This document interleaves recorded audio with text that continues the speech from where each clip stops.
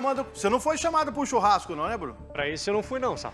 Mas você fez reportagem lá também, né? Já fiz sobre o estado do gramado ali, as condições. Faz tempo que essa novela aí tá, aí, tá, tá, tá tendo capítulos, viu? É, naquela época você falava sobre o, o- a conservação do gramado. Agora é a tava boa, conservação da quiçaça que tá lá. Exatamente.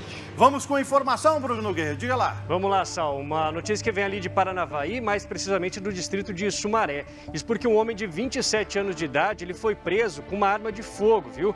A polícia desconfiou da atitude desse homem, ele estava parado em uma rua ali, ao lado do carro, sem falar com ninguém. Então, alguns policiais pararam, fizeram abordagem a ele, mas não encontraram nada de ilícito. Porém, quando foram, então, eh, verificar o carro ali, encontraram essa arma de fogo, um revólver calibre 38 com seis munições, escondido atrás de um pneu. E por isso esse homem foi encaminhado para a delegacia ali junto com a arma, Sal. Tá aí, realmente chama atenção. O 38 foi apreendido e tudo foi encaminhado para a delegacia. É, e com certeza agora a polícia segue nas investigações. Mochilink chamando? Vamos lá. Espera um pouquinho.